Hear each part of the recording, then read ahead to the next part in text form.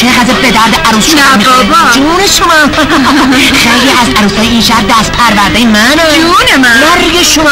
برای اینکه به شما ثابت کنم چقدر قیافتون به درد عروس شدن می‌خوره؟ بیا امشب با هم نه تمرین جونم کنیم من اهل تمرین ممرین نیستم. برو سراغ کس دیگه.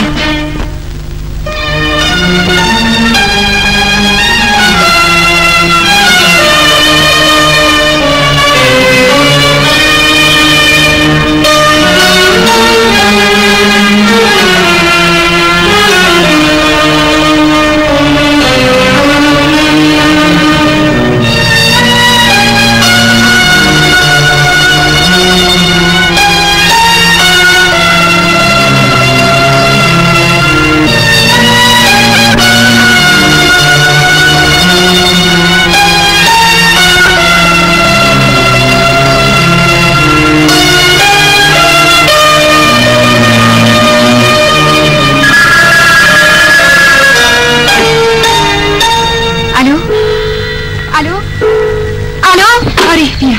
قربون تو. حبیب مسافرت چند روز طول می‌کشه؟ سه چهار رو بیشتر طول نمی‌کشه.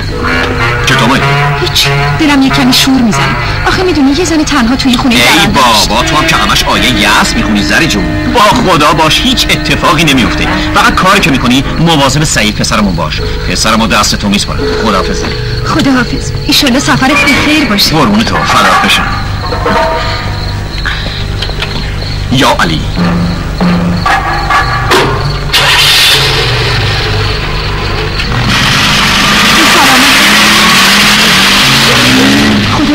que eu estou falando,